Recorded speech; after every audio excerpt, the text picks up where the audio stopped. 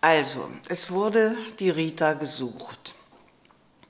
Und ich hatte nach dem Abitur bis zum Beginn des Studiums in der Dresdner Galerie so Hilfsdienste gemacht, unter anderem Luftfeuchtigkeit und Temperatur abgelesen in so einer Tabelle.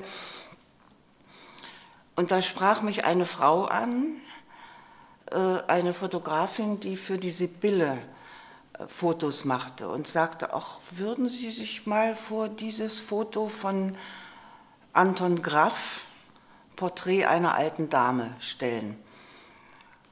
Das war eine alte, schöne Frau mit weißem Haar und einem weisen Gesicht.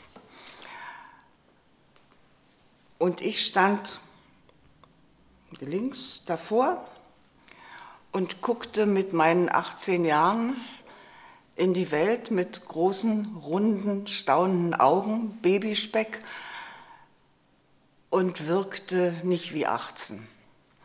Das war so ein schöner Kontrast. So, dieses Foto war ganzseitig in der Sibylle.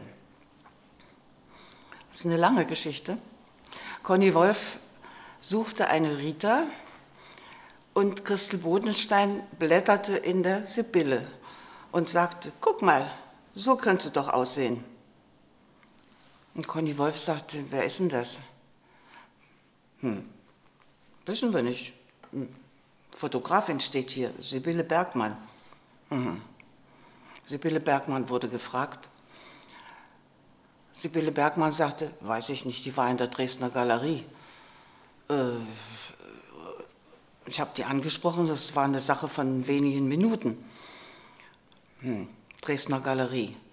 Wer ist denn das? Oh, das war bei uns eine Aushilfe, die hat sich nach dem Abitur ein bisschen Geld verdient. Ja, äh, die muss doch mal ein Geld gekriegt haben oder es muss doch eine Adresse geben oder irgend sowas muss es doch geben. Ja. Und so sind die auf mich gekommen und waren erstaunt, dass ich Schauspielschülerin war. Das wussten sie ja gar nicht. Er war auch bereit, mit einer Laien zu arbeiten.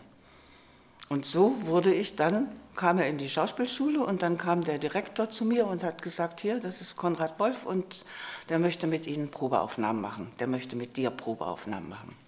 Das war's. Das ist die Geschichte. Und Christel Bodenstein ist schuld. Die hat gesagt, guck mal,